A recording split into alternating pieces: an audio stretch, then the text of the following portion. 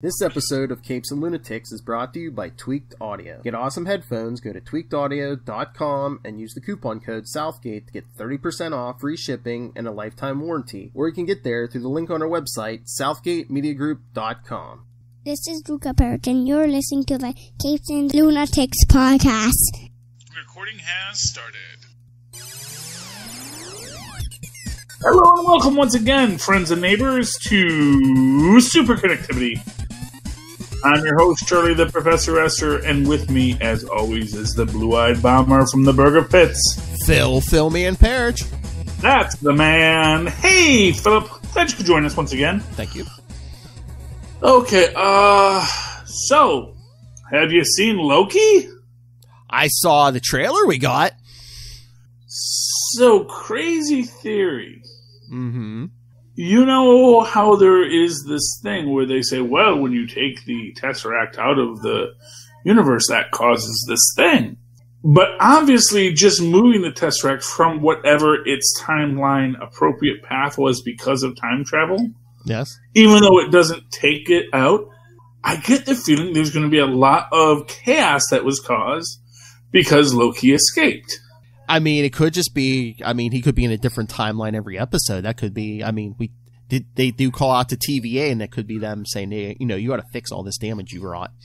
Well, they kind of show that there are these that there are going to be these multiple timelines. I'm trying to remember. Like there was one thing that's oh yeah, that's a whole other thing, and then we also see Loki with the vote Loki uh, Yes. button on, which we love. Um, and seeming, I'm guessing that's where he eventually takes over the TVA. You know what I mean? hmm Um, so yeah, uh, it's exciting, and uh, I love um, uh, which that's Luke Wilson in this. Um, No, Owen Wilson. Right.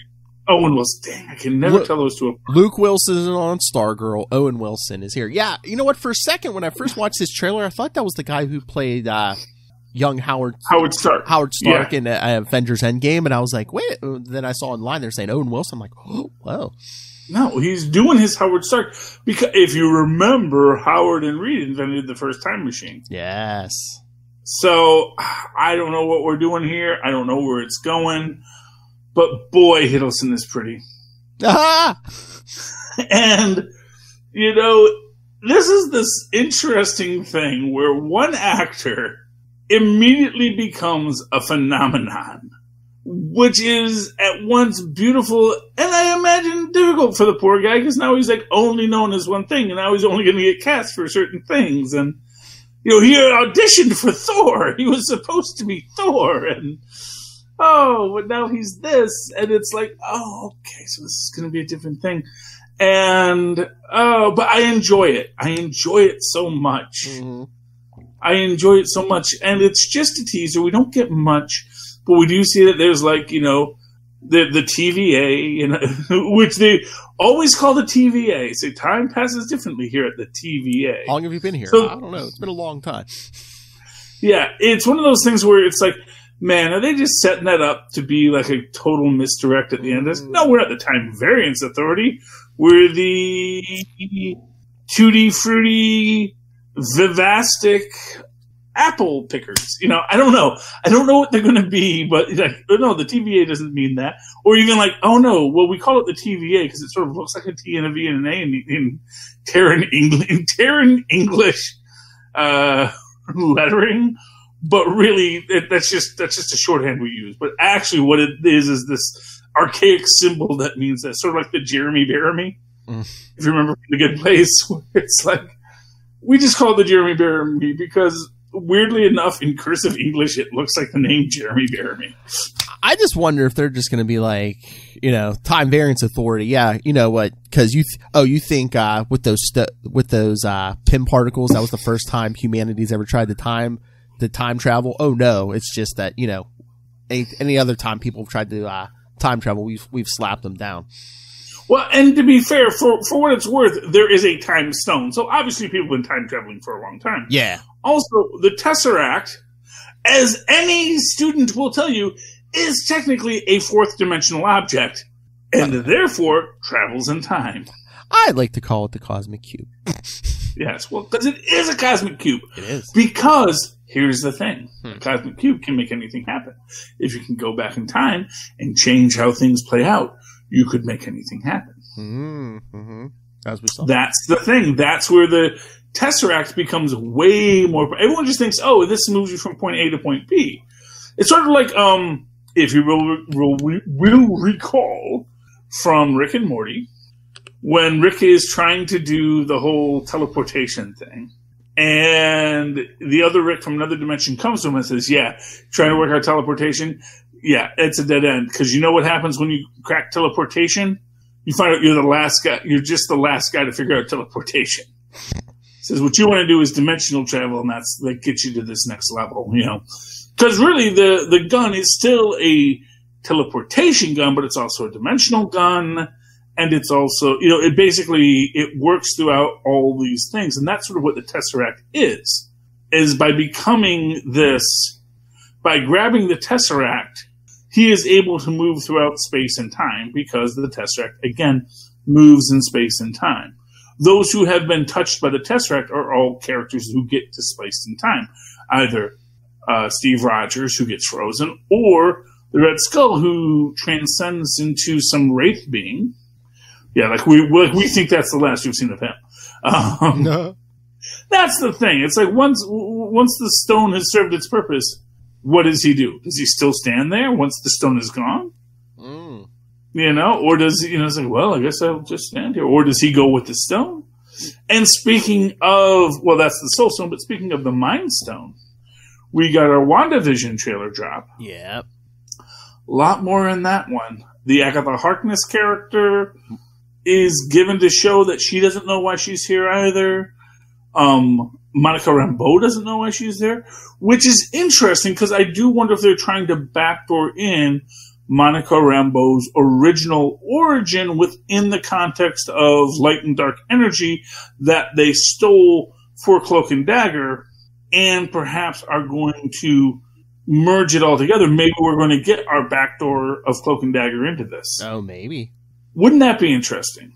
You know, like I say, you know, I, I will never stop believing that Marvel Television is not at least somewhat canonical. They can recast, they can ignore what happened there. So, for example, if we meet Hellstrom later hmm and it's a different actor, I will guarantee you there'll be some mention of something that happened in this series, not heavily, and it's it's sort of like what you get with the Star Wars Legends. So with the Star Wars Legends, as as you know, me and Tristan talk about all the time, you know, the, it's not that they've been made non-canon; it's that they're now legends. These are legends that people believe about these things. Now we may get confirmation of these legends, hmm but for right now, they're just legends. So right now, I kind of see the Netflix universe, Hellstrom, all connect, and maybe even some parts of Peggy Carter, probably, and Agents of Shield, all in that le- that MCU Legends field, where they're going to bring stuff in, and they are, are going to bring stuff in. You know, that's the thing. Is like there is so much fan demand to bring stuff in Oh, yeah. there's not an argument not to. You know, there's no reason for Feige to just say, no, we refuse to bring, uh, you know, Charlie Cox as over as the, uh, as the character, uh, Daredevil, you know? Oh, it's just a license to print money. Well, exactly. It's like everyone likes him. Everyone likes what you did in that story, so bring it over. Meanwhile, obviously, there has never ever been an Inhumans film, a live action adaptation. You know, No. we know that that they never made one, so we'll have to see what eventually Marvel decides to do with that. Um, Again, with a WandaVision, you can wipe that show away and bring in, like, good Inhumans. well, but that's you don't even have to wipe it away. It just never happened. Yeah. That's the thing. It's like it didn't touch us. It's like any of the weird X Men stuff that never touched us. But was there something you liked? Well, maybe we're going to do that. Although Hugh Jackman doesn't want to come back as Wolverine, so probably not. You didn't watch the Mandalorian. It's not on. Oh, it's on today. Yeah. No, we didn't watch the new Mandalorian. wow, that's how. Yeah, look at that. Look at that. And my friend at work today was even saying, "Hey, did you see the new Mandalorian?" I'm like, Oh. Yeah, yeah, I saw it. It was great. Yeah, and it's like, yeah, you know, and I'm thinking, oh my god! And then it struck me, wait, was there a new one? And I just realized, oh, it's Friday. I just realized today. I just just now realized today was Friday. No. Even though I knew it was Friday the whole day, I don't know it's Friday until Mandalorian. And I'm like, oh, Friday Mandalorian, yeah. Yeah. So I have no idea what happened with Baby Yoda this week. Uh, last I saw, he was being, you know, uh, basically he was beating up stormtroopers and then fell asleep. Because it's tiring. You didn't see the Mandalorian do the unthinkable, eh? Oh, did you already see it? Yes, I did. Yes, I did. Oh, goodness. Well, I'm hoping Baby Yoda's still with us, but if not, that's uh, that would be a real dark turn, Favreau. So, That'd be a real freaking dark turn. kind of a spoiler. We don't see Baby Yoda this week. Oh, that's fine. As I said last week, um, you know, th- this is this episode is you know uh, the Dirty Dozen. Yeah. This is literally okay. Let me get some expendable characters. Yeah, sorry, Gina. You probably shouldn't have tweeted that. You're expendable now.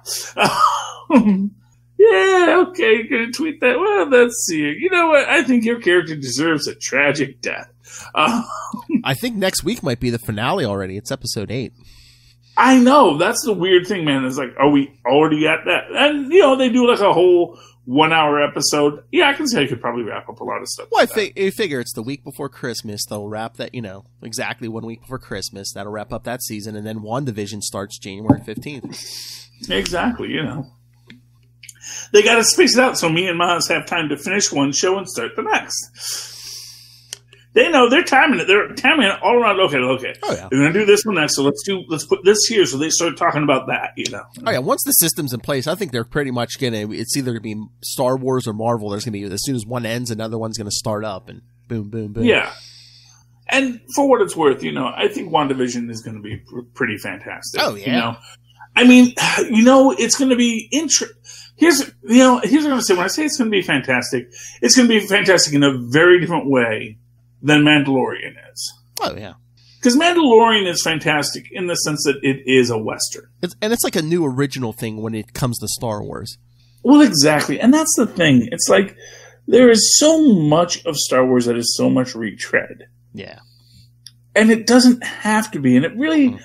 arguably was never supposed to be but i think it sort of you know i think the problem with star wars was it was too big of a hit Yes. and so it created its own fandom and fandom is its own worst enemy so you know and i think star trek gets this sometimes too but at least star trek reinvents things you know star trek did the bold idea of what if we did something different next time and that's when they did Next Generation. And it was really, honestly, just a cost saving measure because they didn't want to pay all of these. Th- They didn't want to do another series with all the old actors because, first off, they were all old and they all had progressed in their lives and characters had progressed. So it's like you can't have Captain Sulu and Captain Chekhov, you know, running the bridge under Admiral Kirk. It doesn't make any sense No. you know from from the entire structure it doesn't doesn't work you know so they created next generation and then they created other generations after that and i really think that is as much as star trek was a cultural touchstone before that i think that's what made it into a cultural icon Oh, yeah. It made it a, big, a bigger, expanded universe. Before that, it was just the one ship, basically. Exactly, and I think that's the idea. It's like you know the the movies and things like that are your touchstone, but you actually want to be an icon. You want something about this to be more than those. You don't want to be hopping across the pond, hmm jumping from stone to stone to stone to stone. You want to swim in the pond. You want to feel that universe around you and feel what's being built for you.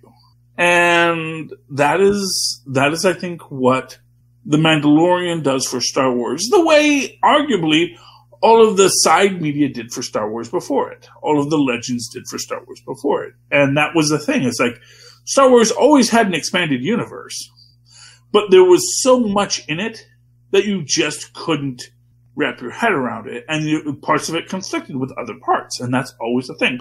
Whether or not a freaking lightsaber is plasma is still a fight I have online every freaking day. It's not plasma dudes. It's concentrated force energy. No.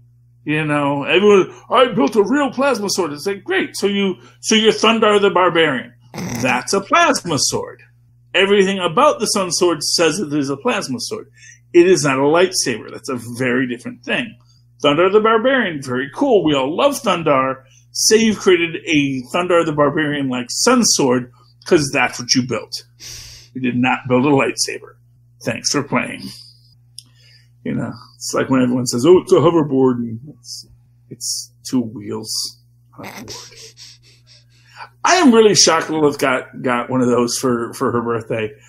Honestly, because first off, I thought hoverboards were like, you know, a decade ago. But you know, Oh! yeah, I understand nostalgia. I understand nostalgia. I understand the desire to just roll, just to just roll with it. Um, and what is more Lilith than to just roll with it? Oh. She she never, you know, interjects. Hmm, that's an interesting thing. Um, but yeah, so that's uh, that's a whole thing there. Um, what were we talking about? well, we're talking about Loki, and then we got into WandaVision. Yes. Then we got way off way off topic there. Uh, let's talk mutants. Okay. because mutants are weird in the Marvel universe of late. Uh, and to do that, you want we're going to throw in some comic books into this because I do want to talk Juggernaut number four, Ooh. where you know it's actually really cool, especially with D Cell's whole shtick of saying I'm not a mutant Hmm. which is surprisingly reminiscent of Ms. Gwenpool's I'm Not a Mutant, and many other people, like Quill, saying I'm not a mutant, before eventually it was just, no, you're a mutant, so you're going to be a mutant. Which makes me wonder are mutants really even mutants? Or are they just people with superpowers? Which is something that I get into this idea of within the structure of the MCU, they may be leaning towards. That it's not that you're a mutant or you're not a mutant. It's that you're, there are certain people who have superpowers. Why they have superpowers, who knows? This idea that there's this special X gene. First off, have they isolated the X gene? Have they been able to replicate it? I don't know. It's weird. It's crazy.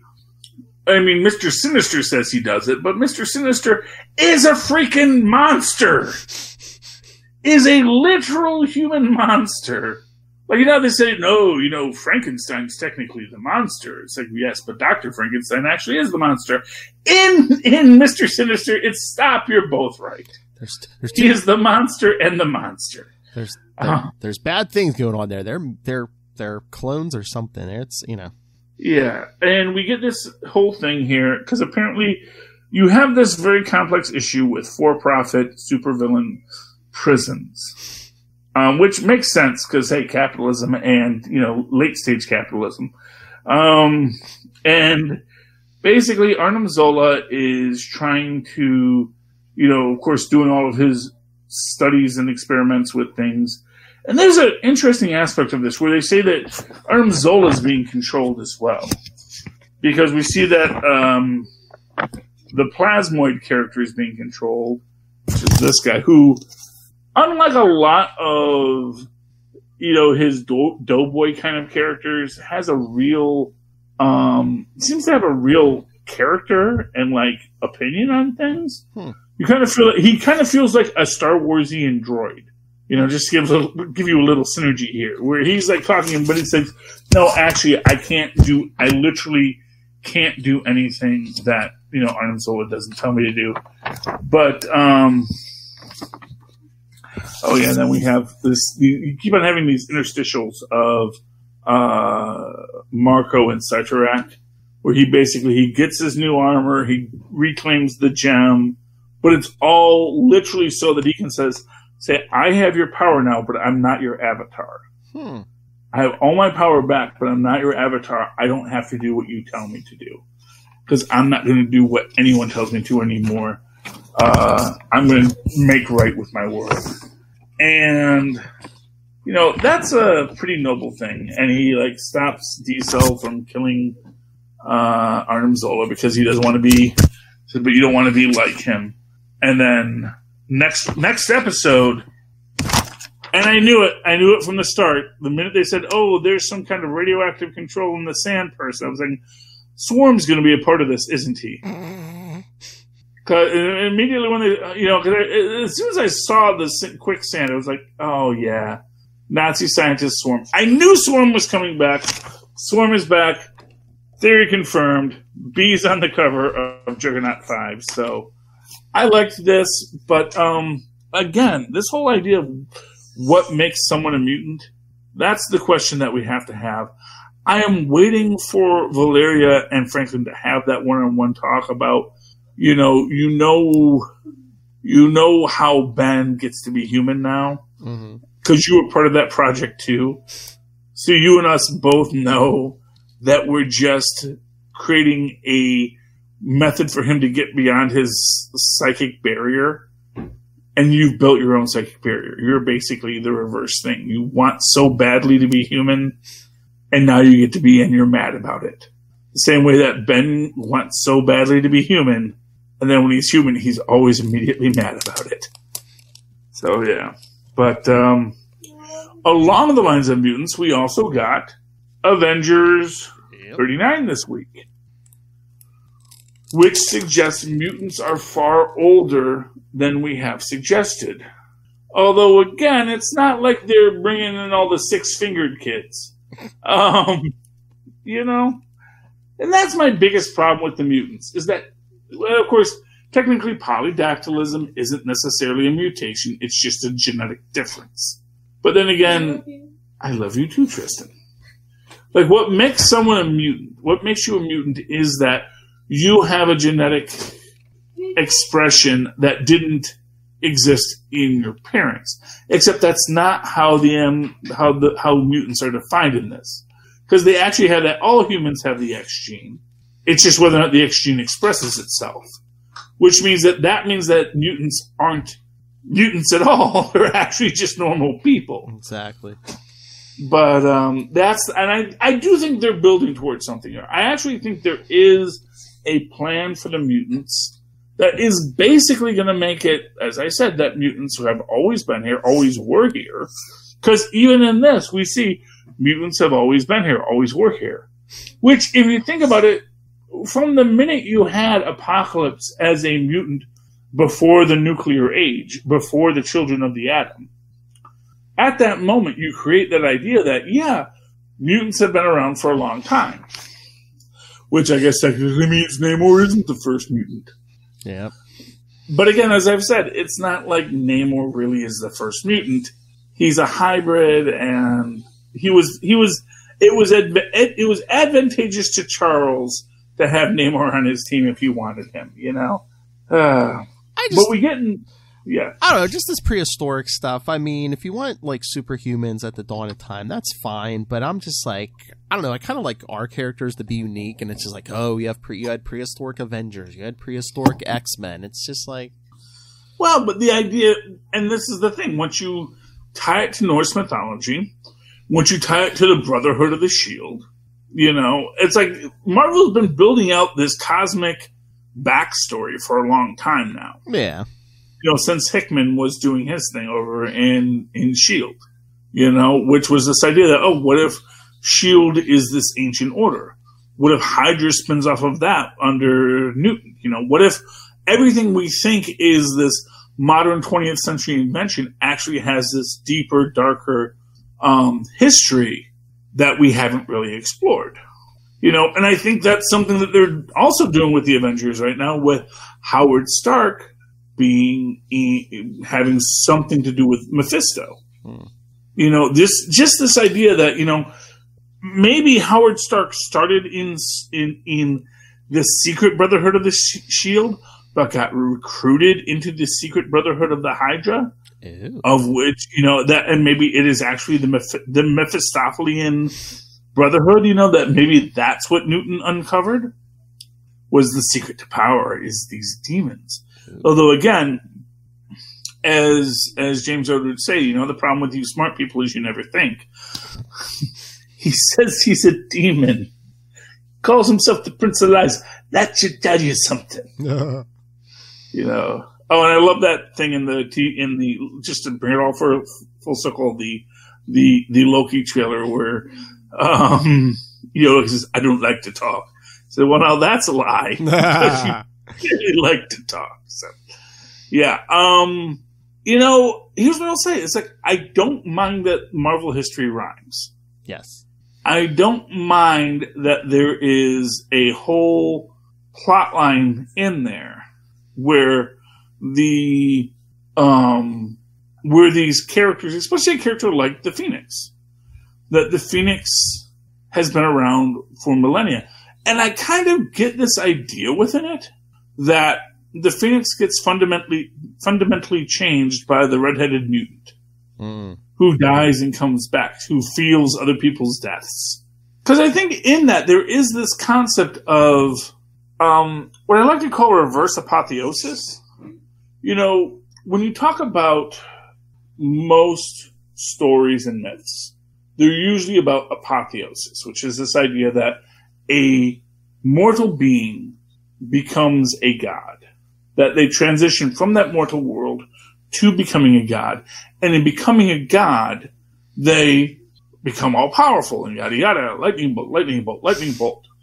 But I think what is interesting in some myths, and I think the myths that have the most power, the myths like the myth of Heracles, uh, like uh, the story of Jesus, and many other characters, is this idea of a reverse apotheosis, where an infinite godlike being becomes mortal.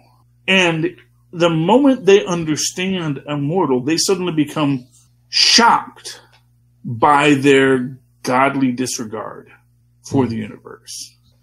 And in this case, once the Phoenix touches the little red haired girl, just like Charlie Brown fell in love with, um, once um, the Phoenix becomes a part of the little red haired girl, she is going to destroy the world as the Phoenix is wont to do. But because she is touching that human spirit, that human spirit ha- that has connection to other living things, that human spirit that wants to be a part of the world, that's where the Phoenix can't do, can't pull the trigger, can't just destroy. Mm. And I think that the end scene in this is really neat when the Phoenix, very self aware, tells Odin, you know, I'm here to recruit you to save the planet from from essentially from, from people like us and us ourselves. This idea that, you know, yeah, you know, we are as much of a threat to this world as anything. And it's important for us to fight that. And I like that. I, I you know, within the context of whatever that's builder bigger that they're building, I'm working with it and I'm feeling very positive about it. Yeah. But that's my opinion. what the whole the whole uh pre the uh prehistoric Avengers thing. Well, I think what the idea is is that they're trying to say that everything that exists does exist within a context of a world that was always more than it seemed to be. I guess so.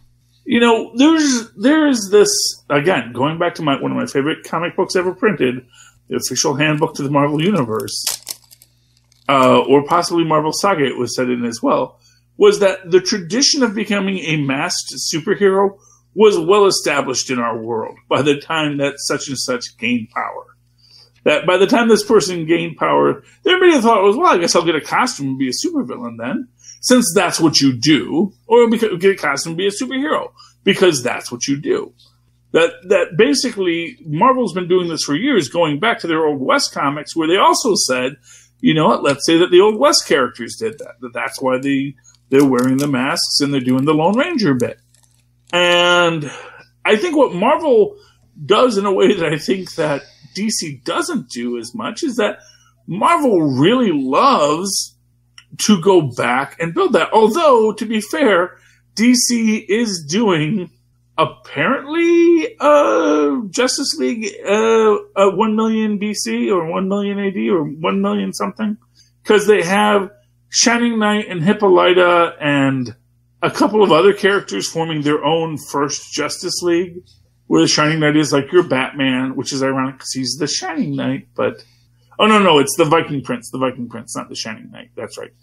It's Viking Prince, Hippolyta, and then there's two other characters that are clearly. Oh, Swamp Thing is in it too. This is in what book is this And I only read the the, the, the discussion of it, but yeah. Oh, this is the, no, this is the start of the Endless Winter story or whatever they're calling it this week. Um, yeah. So Oh. basically, in that story, you know, you have Hippolyta, the Viking Prince, Oh, uh, Black, Black A- Adam. Black Adam. Black Adam, and I think there's someone else in there, and then Swamp Thing. Swamp Thing, but I guess the first Swamp Thing, because now even the Swamp Thing isn't like a new character, isn't just uh, not Ted Sallis. It's actually this other guy, which again, Marvel already established with the idea that the Man Thing existed before Ted Sallis, and yada yada yada. You know, DC they like to copy, but yeah, so. Yeah, well, it, it actually, yeah, because Endless Winter went in the Flash, so it was actually in yeah this week's Flash. Yeah, Mhm. it showed they. I guess they had battled the, this Frost King back in the day. Uh, Yeah. oh, tenth in the tenth century. Yeah, Yes. The tenth. Oh, the tenth. So a mere one thousand years ago, really? pretty much. Yeah. Well, I guess if you want to have uh, Teth-Adam in it, I guess you kind of can't go back too far. Although, actually, I thought no, Teth-Adam was in BC. Oh, but he was buried under the rock. But then, he, I don't. DC, get your timeline straight. Uh, anyway, Viking Prince. So yeah, so he's the Batman. Hippolyta is the Wonder Woman. Um, Teth-Adam is Superman, and then Swamp Thing is Swamp Thing. So that's good. But you know who they don't have in that team? Conan the Barbarian. Oh, Yeah, he's got an enchanted sword that makes him kill people, Hmm. and it's driving him crazy because the sword wants blood, which makes really I don't know. It, it's kind of nuts in this whole episode because it's like you're not sure like is Conan killing people that are like thieves and murderers, or is he just murdering random people because the sword tells him that they're thieves and murderers? It's it's a little dark, a little uncomfortable. I'm going to be honest with you. Um, still enjoy Conan. It's a good book. I got a free Conan poster uh, at uh, the comic book store this week, so I was very happy about that. Um, but yeah, Conan the Barbarian, it's it's pretty neat. But yeah, he's got an evil enchanted blade that eats souls, so that's not good.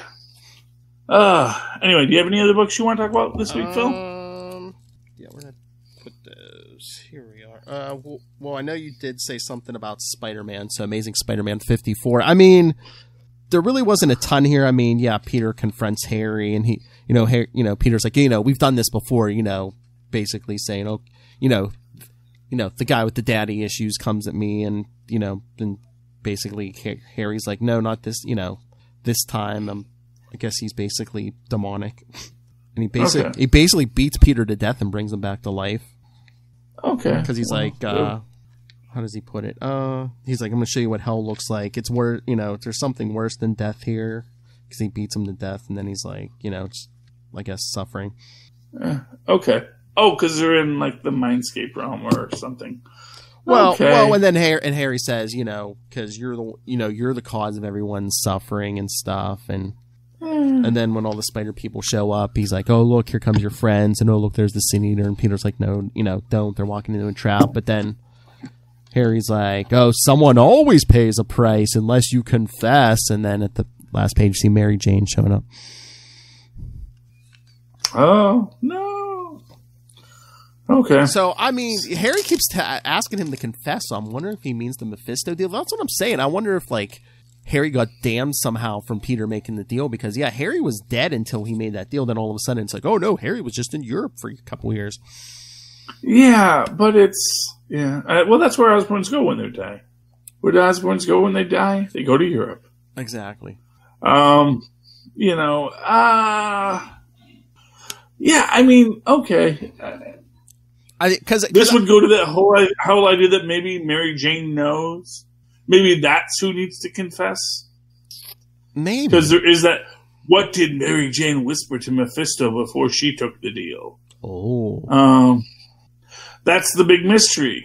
and everybody like zooms it. Well, we zoomed in on the lettering. It's like, no, you didn't. You're lying because they don't write the lettering in a way that you could just zoom in on it. That would be stupid. Yeah. Um, And again, this that is, would be a stupid way to maintain a mystery. You know. yeah, and again, I mean, anyone who worked on that is long gone, so it's Yeah. But I mean, yeah, I th- it's just Harry seems to be blaming Peter, you know, for everyone suffering. Something again, I'm ass- is it the Harry suffering again? Did the deal do something to Harry? You know, was he at peace? And it's like, oh no, you you know, you cursed me and brought me back. Blah blah blah. That's it's just it's all in his mind. Wasn't Harry? You know, it's like that whole thing in Ghost Rider where they have the the traveler. Just call me JC. Ah! my long hair and my beard. It's like, oh goodness, clearly you are this person. Nope, I'm Mephisto. Ha ha! You thought white Jesus was real Jesus. See, that was your own prejudice. I, Take that, Ghost Rider. I think that was just you know some of the some of the riders, some of the readers were like, oh, you can't be blasphemous against Jesus, but oh no, you can mess with the devil all you want. Well, I, although I, like I said, I'm just I'm just saying how that how that story would read today. We would say, wait a minute, why is Jesus white? You know, exactly. why you having this white, black, blue-eyed guy Char- be Jesus? Why do you think of that Jesus? That looks like Charles Manson, if you ask me. There's still those pictures of uh you know, it's like, oh, remember what the reason for Christmas, and it's like supposed to be a picture of Jesus, but it's a picture of uh, E- uh, Ewan, Ewan McGregor from uh, as Obi Wan Kenobi, young Obi Wan. Yeah, well, you know. Yeah, well, you know. Reason is festive consumers day, my friend. The Nagus of conspicuous consumption shall arrive and give great bargains to all the good little Ferengi who study their rules of acquisition at night. Oh, you, you know what uh, issue was interesting? Uh, Guardians of the Galaxy Nine by our friend Al Ewing. Oh, how's that going? I mean, well, a couple issues back, he looked like he killed off Peter Quill, and I guess and Quill's like in this issue, it looks like he's in another dimension, and he's kind of like in a thruple with some alien man and woman, and it seems like he's there for like a, I don't know, like a hundred years or two hundred years or something. But it's like it almost seems like Al Ewing's trying to tie the two Star Lord origins together because before the whole, you know, he was a kid picked up Yeah. by Yondu and stuff. You know, it, it was that whole. What was it, like a space wizard pro points him like the Star Lord or whatever. Yeah, there were all sorts of I mean, things, he- yeah. yeah, because he There's uh, like six different Star Lord origins. Yeah. Even one where he was just the prince of Abraxas or something, you know? Yeah, because I mean, he's getting flashes of you know that that whole thing, you know, him get, being appointed by this, you know, old man Yeah. on his throne, and it's just like I get flashes of that sometimes, you know. Yeah, that's the gag. That's what Marvel does. They're not gonna. It's continuity, baby. We don't let continuity. We don't let that continuity last Yeah. forever, man. Oh, you thought we didn't know about that? No, we remembered. We remember. Yeah, because it looks like he gets appointed, then he wakes Marvel. Farms remembers. Yeah, then he yeah, it looks like he gets appointed, then he wakes up as a child. Yeah. but it's like, how does your how does your element gun work? Oh, I don't know. It just always It does. just does elements, and sometimes shoots bubbles. That was the best effect in all of in, in all of Infinity War. Just Thanos likes bubbles. Uh, which shows that Thanos has a playful nature. He was he really just wanted to be a big jolly guy, but everyone just wouldn't listen to him. I, think he was just trying to show him how insignificant he was. I don't know, maybe. You come at me with toys. Except it wasn't really a toy. Obviously, you've altered reality, so Yes. you're, you're you're not playing fair, Thanos. And really, what what is you know? It's uh, Thanos. Nobody liked you, Thanos. Go home. It wasn't a practical thing. Everyone who actually knows about anything said, yeah, actually, it wasn't a practical plan. It was actually a really stupid plan. And it really doesn't work, That's right. especially when you kill half the trees. like, I will just get rid of half the resources in this planet. It's like, dude, if humans eat trees, you know that, right? It's like you can't, you can't kill the living things that all the living things survive on. That's why you're dumb. That's why you're dumb, Thanos. You're a dumb guy. That's the problem with smart people. You don't think. Oh, it is just. Uh, anyway, so yeah, Thanos is Dumb. dead, hopefully, this week. Uh, uh, anything else you want to talk about this week, Phil? No, I think we're good. I think we're very good. You know, um, And I was, but I just wanted to say before we go, uh, everyone, remember, the next two weeks, Capes and Lunatics are going to be pre-recorded. So if there's any big uh, news items, remember, come here to Super Connectivity. That's where we'll be talking in the next two weeks. because I have no life. Me neither. Yay! That's what happens when you have kids. Podcasting becomes all you have. So I was like, no, I'm actually going to go out because I don't have kids, and I will actually eat a steak. Hey, there's a pandemic this year. It's responsible. yes, well, fair enough. Um, but I was like, I'm going to be irresponsible in my house and eat a steak in my house and just not do this stuff because I have things I want to do. She's focusing on writing the great American novel, you there know. you go. I should have written a novel. I didn't. Why? Because I'm doing podcasts. And I have kids. See? Someone write this down. Balance. Oh, it's being recorded. Um, I it's going to be somewhere. Anyway, uh, you know, Philip, uh, I've enjoyed listening to you, talking to you, but you know, many people don't enjoy listening to us. And you know why, Philip? You know why they don't enjoy listening to us? Because they don't have tweaked audio headphones. That's correct. And they should just go to tweakedaudio.com, use the coupon code Southgate at checkout, and get some high quality earbuds that are Bluetooth enabled, even because, you know, the kids love the Bluetooth. Um, and listen to this uh, episode in stereophonic sound. Come back and listen. You'll hear much more interesting things you didn't hear the last time. Uh, likewise, use that same coupon code Southgate. Go over to huntakiller.com uh, get an escape room delivered to your house, and then just put in that code and get a discount on that too, because you can use that code more than once, which is weird because most coupons you can't, but this one you can. Um, likewise, you should pick up Pod Life the book, which is a great book about podcasting.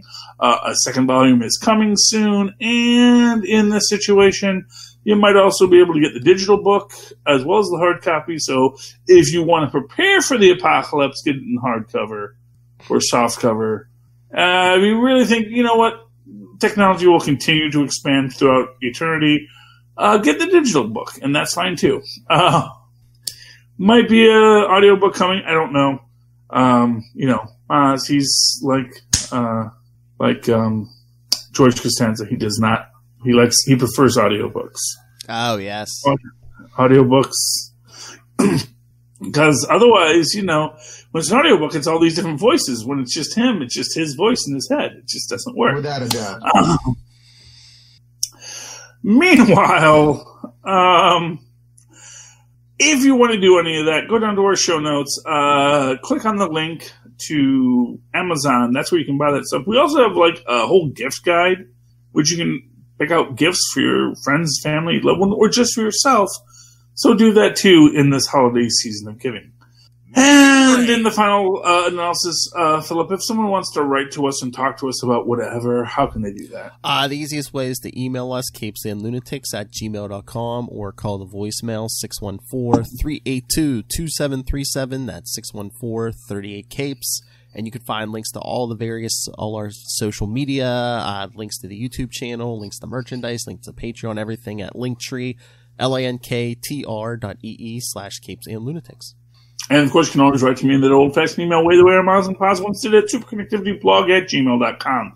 That's superconnectivityblog, all one word, at gmail.com. And of course, follow me on the Twitter as I live tweet the final season of DuckTales. Woohoo. Mondays at 7 p.m. Eastern Time, when I remember. At Charlie Esser, that's C-H-A-R-L-I-E.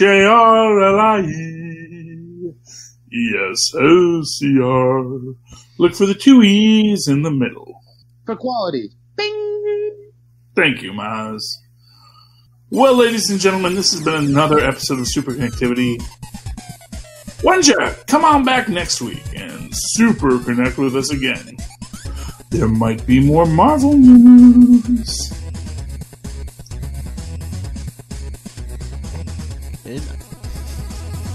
So we're doing Wonder Woman on the first of January, or uh, sometime that weekend, whenever we schedule that. Yes. Okay. Well, I don't know. You're the one that schedules these things. Well, that's, all I'm saying. See when the Great little Hellfire gets back to town, but it'll hit the podcast January fourth. January fourth. Okay. That's when it'll be on the podcast. Wonder Woman.